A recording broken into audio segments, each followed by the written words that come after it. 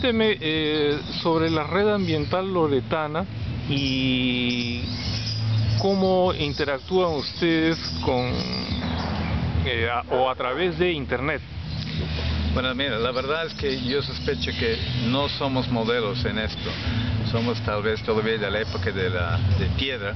Ah, tenemos una página web pero es lo básico lo que tenemos. Tenemos un joven que lo maneja todos los días y subimos cuando hay noticias importantes. Pero sabiendo que hay tanta noticia en la net, eh, no ponemos mucho, ponemos solamente lo que compete a nosotros como loretano y nuestro enfoque especial. Eh, tratamos de poner lo que tal vez otros no van a poner.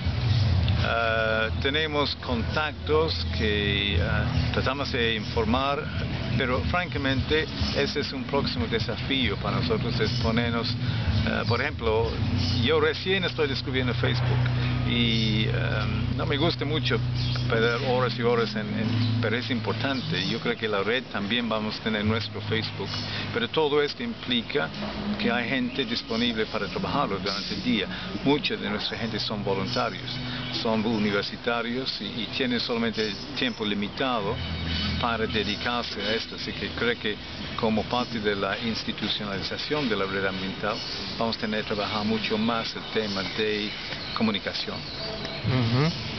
Y sobre la red eh, propiamente dicha, eh, ¿cuáles son sus expectativas para el futuro inmediato? Bueno, nuestro, la, parte fuerte nuestra es educación.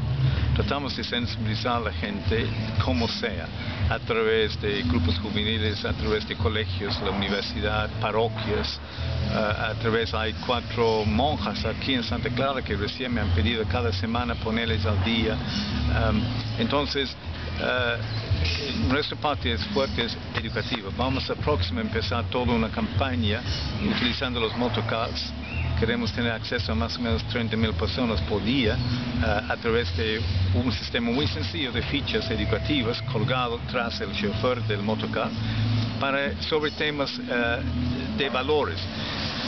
Lo que nos damos cuenta es que nada va a cambiar si la gente no empezamos a vivir valores, respeto, responsabilidad, tolerancia, higiene, uh, puntualidad.